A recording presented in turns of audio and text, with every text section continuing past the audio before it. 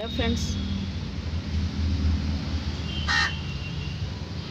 hello friends welcome to Saji YouTube channel இப்போ நம்ம பார்க்கறது போகிறது என்னென்னா எற ஆயிடுது எப்படின்றத பற்றி பார்க்க போகிறோம் அது எப்படி ஆயிடுதுன்றதை காமிக்கிறேன் பாருங்கள் ஃபஸ்ட்டு இந்த தலையை பிடிச்சிக்கணும்.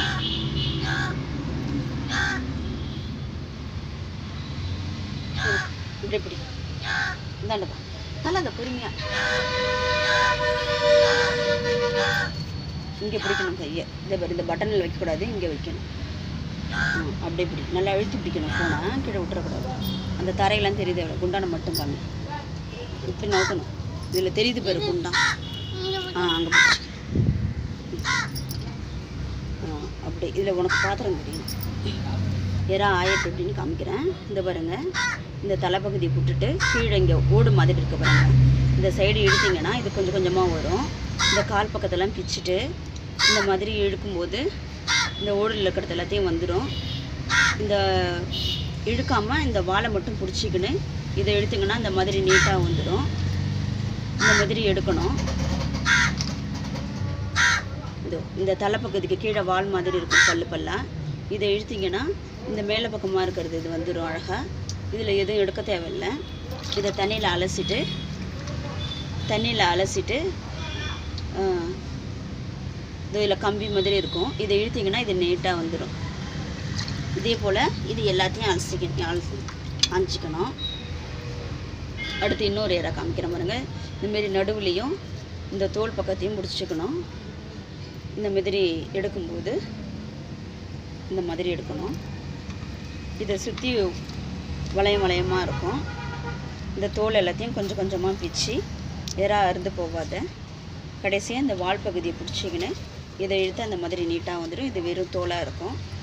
இந்த பக்கத்துக்கு இதோ இந்த கீழே கீழே இருக்கிறது இதை மட்டும் எடுத்தால் இப்படி செய்யும்போது இது மேல் இருக்கிறது வந்துடும் இதை அலசிட்டு இதில் இதை அலசிட்டு இதில் இது இருக்க கருப்பாக இதை பிடிச்சி இழுத்தால் இந்த மாதிரி நீட்டாக வந்துடும்.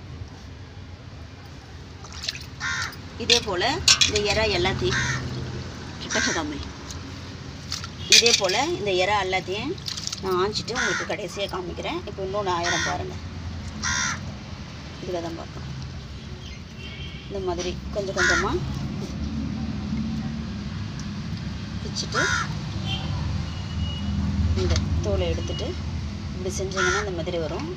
இது எடு- இது ஃபுல்லாக சதை. ஒரு சிலவங்க இதை இந்த தலையை வந்து அரைச்சி குழம்புக்கு ஊற்றுவாங்க அது செய்கிறவங்க அதை எடுக்க மாட்டாங்க. இந்த மாதிரி. இது இப்படி நசுக்குனா இது உள்ள இது ஒரு வருது பாருங்களேன் ஒரு மாதிரி கருப்பாக இந்த மாதிரி வரும். அது முள் மாதிரி இருக்கும். அதெல்லாம் இதெல்லாம் எடுத்ததுக்கப்புறம் அலசிட்டு இது இல்லை கருப்பாக இருக்குது பாருங்கள்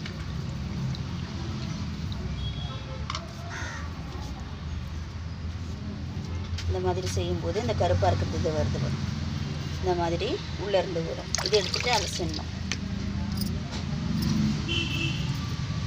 இதே மாதிரி கொஞ்சம் கொஞ்சமாக செஞ்சுட்டு நான் எல்லாம் மு- இது திருப்ப பாருங்கள் ஃப்ரெண்ட்ஸ் இந்த பாருங்க இப்படி பிடிச்சிக்கணும் எறாவை இந்த தோலை இப்படி எடுக்கணும்.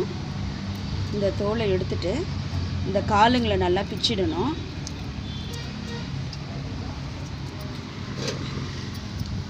இந்த காலுங்களை நல்லா பிச்சு எடுத்துகிட்டு இது மேலே இருக்கிற ஓடுலாம் எறாவை கட்டாவாத க எறா கட்டாவாமல் கரெக்டாக எடுத்துட்டு இந்த மாதிரி வாழை பிடிச்சிட்டு இழுத்திங்கன்னா அழகாக வந்துடும். இதை பாருங்க வால் கூட நேராக கரெக்டாக வந்துடுச்சு.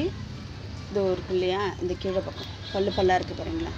இந்த பல்லு பல்லாக இருக்கிறத இப்படி இழுத்திங்கன்னா இது இப்படி தோல் மாதிரி வந்துடும். அதுக்கடுத்து இப்படி செஞ்சிங்கன்னா இந்த எறா கூண்டு இது உள்ளே இருந்து இந்த மாதிரி சதையானதை மட்டும் வரும் இந்த சதை மட்டும் வரும் இது கீழே போட்டுட்டு இதை நல்லா வாஷ் பண்ணிவிட்டு இதை வாஷ் பண்ணிவிட்டு இதில் கருப்பாக இருக்கும். இல்லை ஒரு சில இதில் வெள்ளையாக இருக்கும். இந்த வருது பாருங்கள் இந்த மாதிரி வந்துடும் இழுத்தீங்கன்னா. இதே போல் இவ்வளவும் ஆஞ்சிருக்கேன். இன்னும் மீதி இருக்கிற ஏறாவையும் ஆஞ்சிட்டு அடுத்து உங்களுக்கு ஃபுல்லாக ஹலோ ஃப்ரெண்ட்ஸ் இப்போ பாருங்கள் நான் ஆஞ்சி முடிச்சிட்டேன்.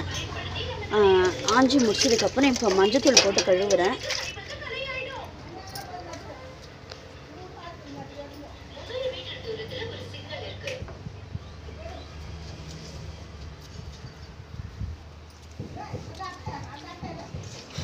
கழுவிட்டு மஞ்சத்தூள் தண்ணியில் போடுறேன்.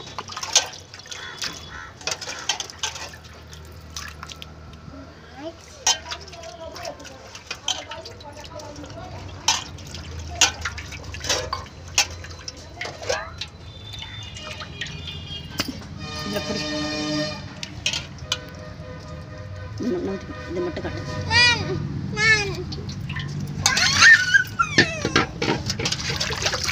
நல்லா இந்த மாதிரி மஞ்சள் நல்லா கழுவி வாஷ் பண்ணிவிட்டு அள்ளி இந்த மாதிரி ஒரு குண்டானில் வச்சுக்கோங்க. குண்டா இல்லை உங்களுக்கு தேவையான அளவு பிசைறதுக்கு வாட்டமான பாத்திரத்தில்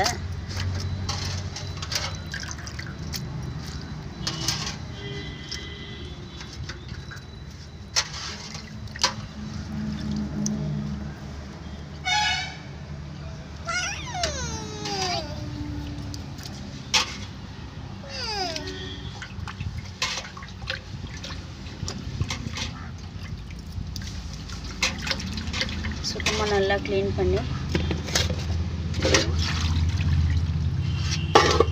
இதில் இன்னொரு தடவை கூட நீங்கள் தண்ணி ஊற்றி அழைச்சிக்கலாம் ஏன்னா அதிகம் மஞ்சத்தூள் இருந்ததுன்னா மஞ்சத்தூள் வாசனை வரும். அந்த மாதிரிலாம் இல்லாமல் நல்லா சுத்தமாக அலசி இதை வறுக்கிற வரைக்கும் எப்படி ரெடி பண்ணுறதுன்னு சொல்கிறேன் எறாவோட தலையை ஆயறதுக்கு முன்னாடி கிள்ளவே கூடாது. கிள்ளிட்டிங்கன்னா அப்புறம் ஆயும் போது கஷ்டமாக இருக்கும். சுத்தமாக பிச்சு பிச்சின்னு வந்துடும். அந்த மாதிரி ஆயாதீங்க. எப்படி நான் காமிச்சிருக்கேனோ அதே போல் ஆயுங்க.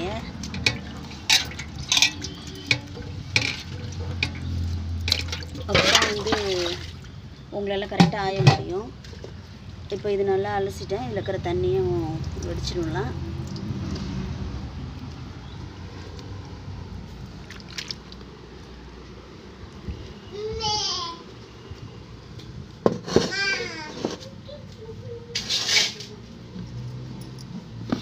இது வறுக்கிறதுக்கு வந்து நான் சாதாரணமாக தினசரி எப்பயும் யூஸ் பண்ணுவாங்கல்ல அந்த மாதிரி மிளகாத்தூளுங்க யூஸ் பண்ணுறது அது மட்டும்தான் போடுறேன். மிளகாத்தூள். இந்த கொரோனா டைமுங்களில் வெளியிலலாம் போய் வாங்காமல் இந்த மாதிரி மீன்காரங்க எடுத்துகிட்டு வருவாங்க. அதில் வாங்கி ஹெல்த்தியாக செஞ்சு வீட்லேயே சாப்பிடுங்க. குழந்தைங்களுக்கும் கொடுங்க. நிறைய வாங்கி நல்லா செஞ்சு சாப்பிடுங்க. ஹெல்த்தியாக இருங்க. சப்ஸ்கிரைப் சப்ஸ்கிரைப் பண்ணுங்கள் ஃப்ரெண்ட்ஸுக்கும் ஃபேமிலிக்கும் லைக் பண்ணுங்கள் ஷேர் பண்ணுங்கள் கமெண்ட் பண்ணுங்கள் தேங்க்யூ ஃப்ரெண்ட்ஸ்